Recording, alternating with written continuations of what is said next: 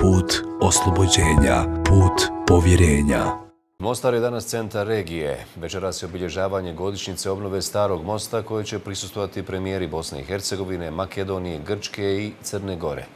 Prvi čovjek grčke vlade prvi put je u našoj zemlji. Sastao se sa bosansko-hercegovačkim premijerom, slikom uživo idemo do Mostara. Kolega Ernad Meta je sa nama. Ernade, kakve su poruke e, upućene nakon sastanka e, premijera Zvizdića i grčkog premijera Ciprasa? Evo da kažem da su oba premijera i premijer Grčke Aleksis Cipras i premijer Bosne i Hercegovine, odnosno predstavajući vijeća ministara, Denis Zvizdić izrazili zadovoljstvo što je nakon dugo godina premijer eh, Grčke eh, ponovo stigao u Bosnu i Hercegovinu. Riječ je o zemlji koja je eh, pomogla izgradnju zgrade zajedničkih institucija, zgrade prijateljstva.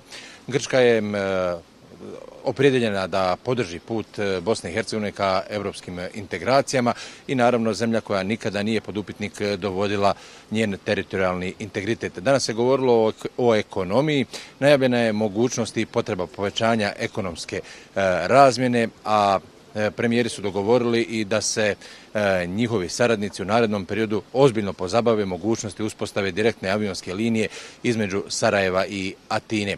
Najavili su da će ekonomska saradnja u narednom periodu sigurno biti značajnija, ali i kontakti između dvije zemlje. Pa evo poslušajmo izjave premijera.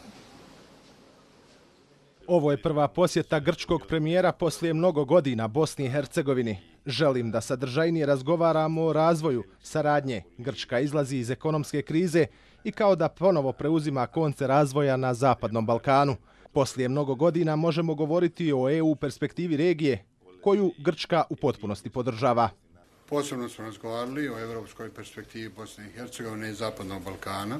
Istovremeno sam ga upoznao da bi dobivanje kandidatskog statusa i aktivacija mapa kao narednog koraka ka NATO paktu bile dvije najvažnije poruke za Bosnu i Hercegovinu. U tim procesima Grčka je naš veliki prijatelj, veliki zagovornik Evropske Bosne i Hercegovine. Ja se na tome još jednom posebno zahvaljujem i naravno očekujem i dalje kvalitetnu i konstruktivnu saradnju. Grčka je pomogla izgradnju razrušenih zgrada i škola u Srebrenici, bolnice u Kasindolu u Sarajevu, te džamija i pravoslavnih crkava. Grčka podržava napore koje ulažete i vaše institucije u razvoju.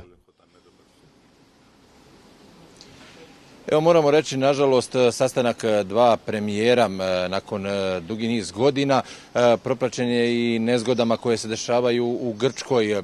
Aleks Cipras ovdje je u Bosni i Hercegovini, ali mislimo u Atini gdje su tri velika požara na Atici i izrazio je nadu da će njihovi vatrogasci i službe bezbjednosti uspjeti staviti taj požar pod kontrolu, ali evo Cipras će ostati u Mostaru i primiti povelju mira. Ono što možemo još reći da u Mostaru danas u stvari mali samit e, zemalja Zapadnog Balkana koje pretenduju na ulazak u Evropsku uniju.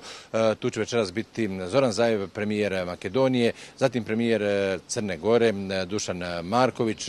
Dušan Marković će zajedno sa Ciprasom potpisati povelju mira. O tome ćemo nešto kasnije jer za nekoliko minuta očekujemo i predsjedavajućeg vijeća ministara Bosne i Hercegovine Densa Zvizića da nam se pridruži.